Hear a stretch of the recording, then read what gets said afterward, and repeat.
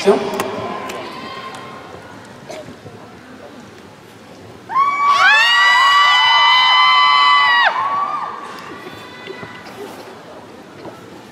아, 지금까지 네, 지금까지 28곡의 곡을 불렀네요. 여러분.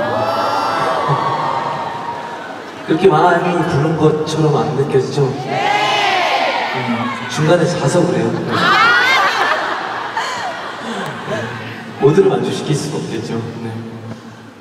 하지만 저는 이 공연을 통해서 뭔가를 또 배워갈 거고 또 그거를 다른 공연에서 어, 채워서 여러분들 앞에 납품할 겁니다. 아, 이 테이프는 왜 이렇게 떨어지니? 자꾸.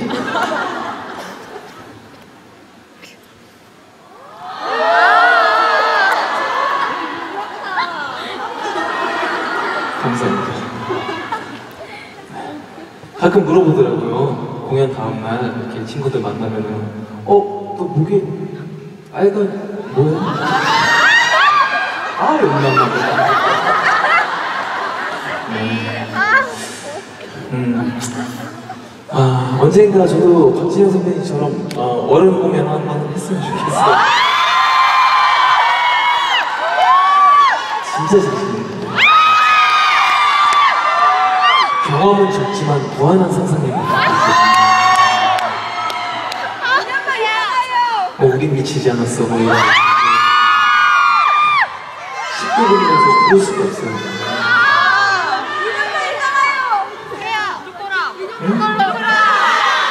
조금만요?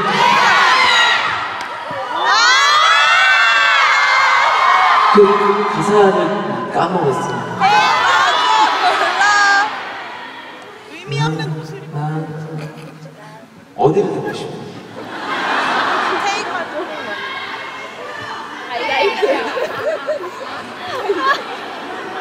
와!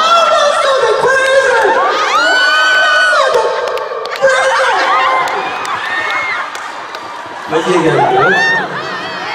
마지막 애들이. 테이크 걸로 거꾸로 이렇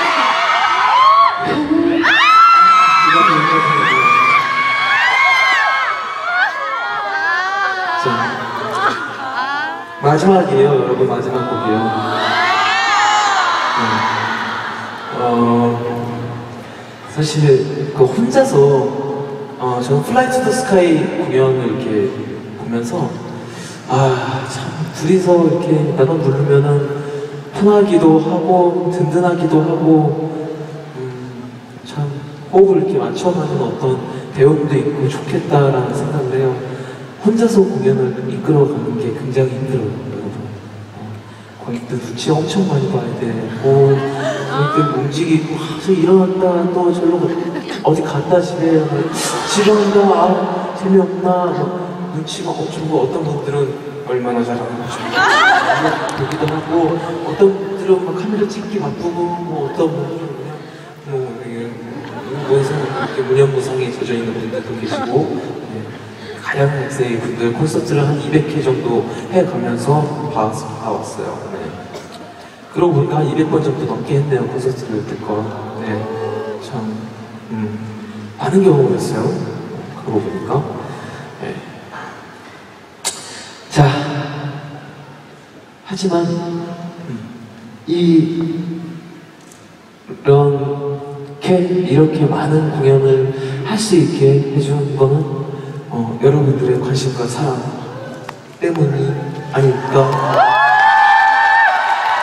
라고 저는 당연하게 생각합니다.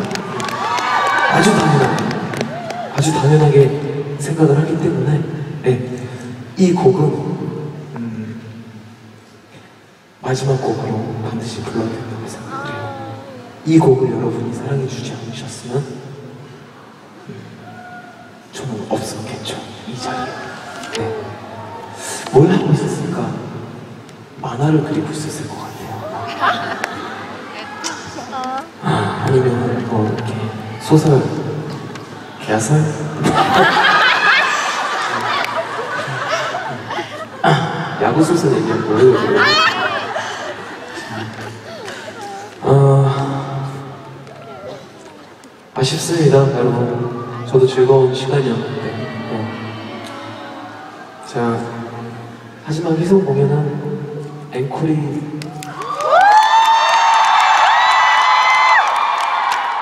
앵콜이 섭섭하지 않다는 거 알아주시 알고 가실 겁니다.